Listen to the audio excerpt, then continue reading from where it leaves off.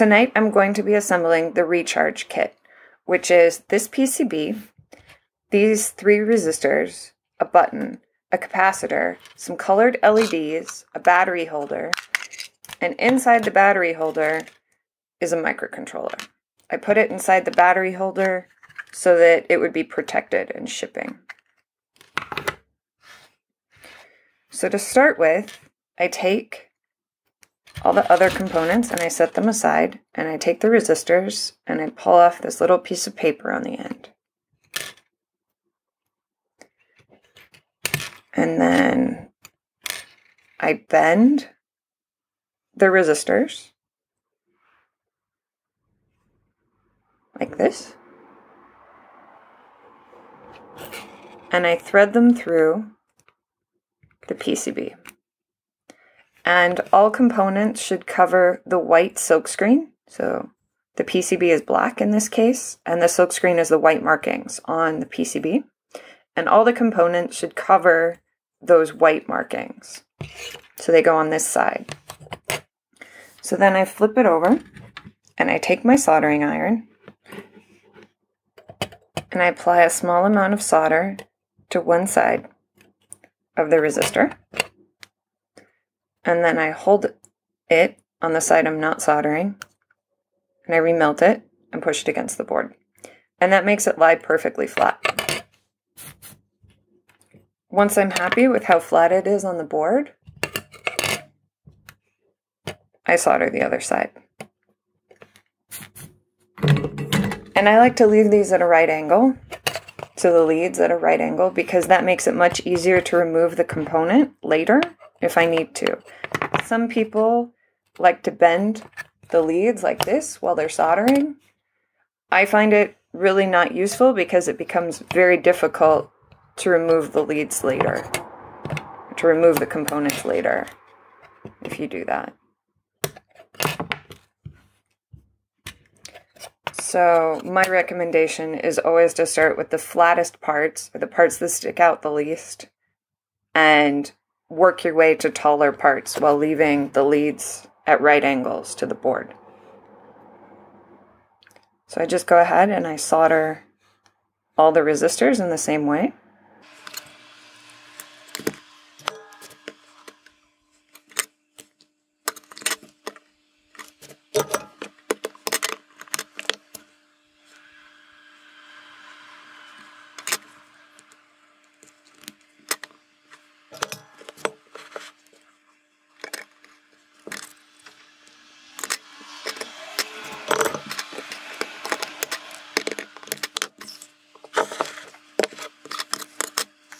Okay, and then next, I'm going to do the capacitor.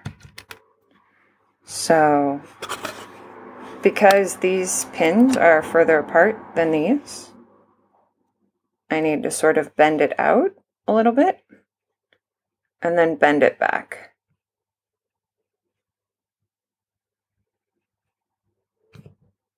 And I try and keep these parallel just because removal later, if you want to change values, is much easier if they're at right angles to the board. So that means parallel, the leads parallel to each other.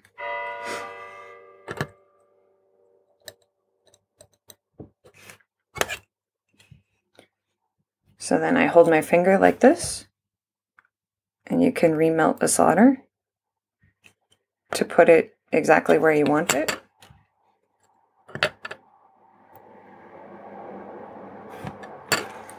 And then solder the other side.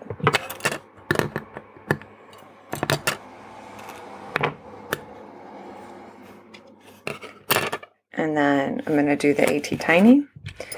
And on this chip, there's a small dot on this side. And there's a star here. So I need to make the star and the dot match each other. There's also this mark on some of these chips so you have that mark match the mark if your chip has that. And that indicates which pin is pin one. It's also the square um, through hole part. So these are all squares, and then there's seven circles where the pins can go. So to fit it in there, these are at a slight angle. I have to bend them so that they're at a right angle. So I set it in there.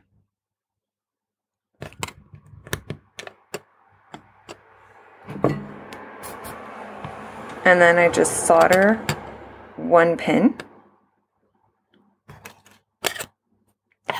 And then holding the microcontroller with this finger, I remelt that solder and push up, and then it's perfectly flat on the board. And the microcontroller is the only component that you can actually damage if you put it in backward. The resistors can't be put in backward. They don't have a polarity. And the capacitor can't be put in backward. But the microcontroller, if you put it in backwards, could break.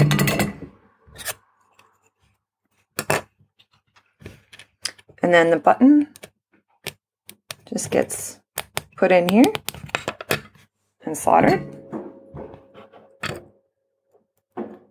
So I solder the one pin check the alignment, push it, solder again, and then solder all the other pins.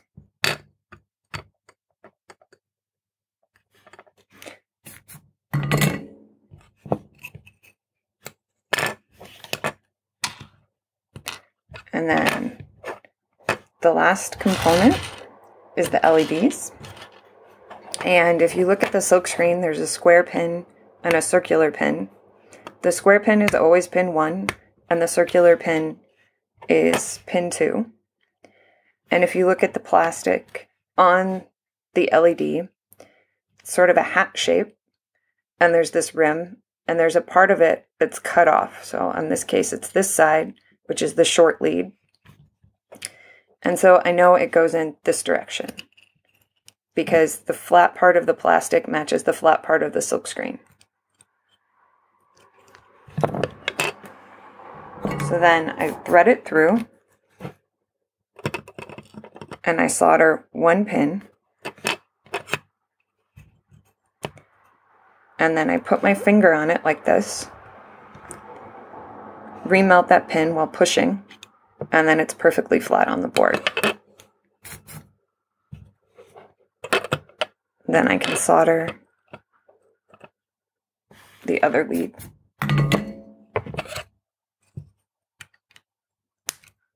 And trim them off.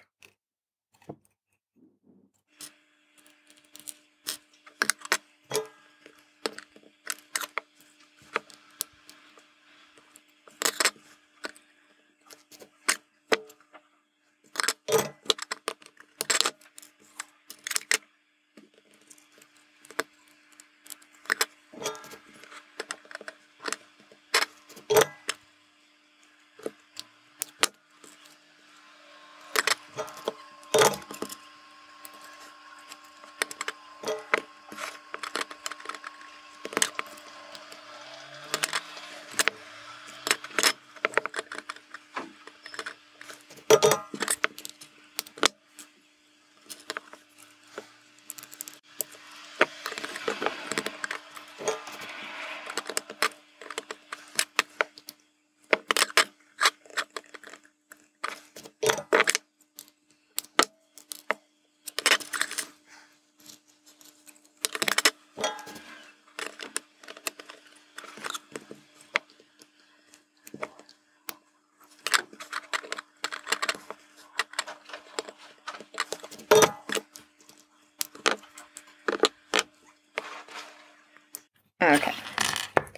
So now I have all the LEDs soldered on there. And let's say, for example, if we look at it this way, we can see that this LED is a little bit out of alignment. So if we wanted to fix that, what you can do is take the soldering iron and melt both leads at the same time while keeping your finger on that LED and pushing it to the right location, and then removing the soldering iron and checking to see if they're in alignment. So now I notice that the yellow one is also a little bit out of alignment. So I can fix it by melting both of them at the same time. And just pushing it. And then seeing if I like it better.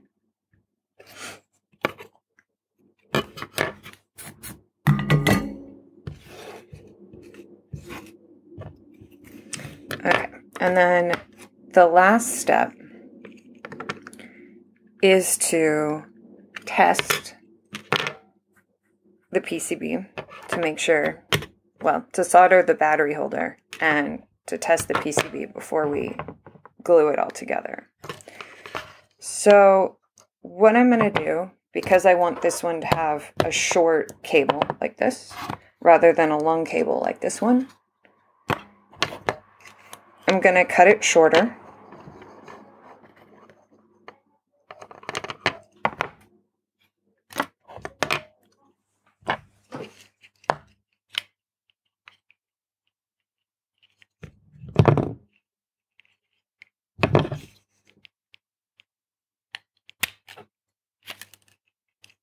Okay, so now I've stripped the wires a little bit. And then I'm going to get some batteries.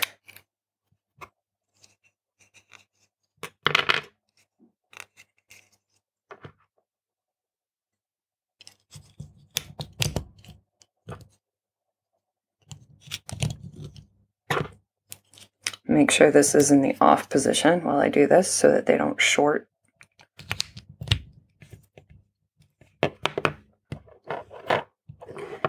So match up the positive, so the red wire, with the positive on the PCB. And then flip it over.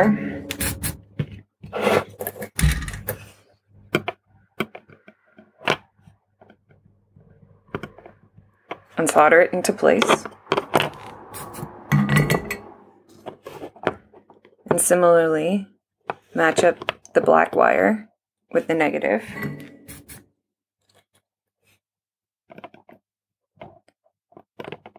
And solder it into place.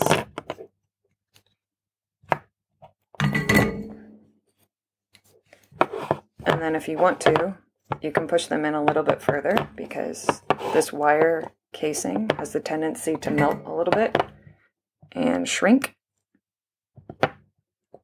So I like to just push them up a little bit. And then I trim the positive because it's too long. You could trim both of them if they're too long. And then I turn it on and I push the button just to confirm I've soldered everything correctly. And it should be working. At this point, if you notice that an LED is backward, you need to unsolder it and flip it around or just use a new LED. But the program is working. So the last step is to glue it together. Once everything has been soldered and checked, the last step is to take a glue gun and to glue it to the back of the case.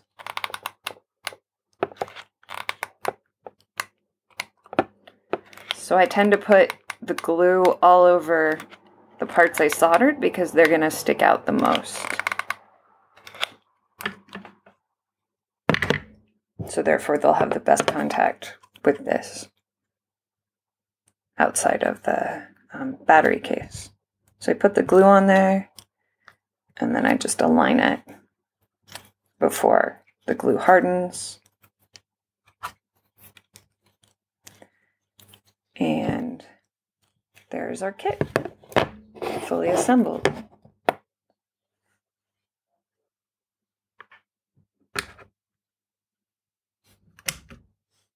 So I hope you enjoyed watching me put that together, and if you bought one, I hope it helps you figure out how to assemble it. Um, thanks for watching.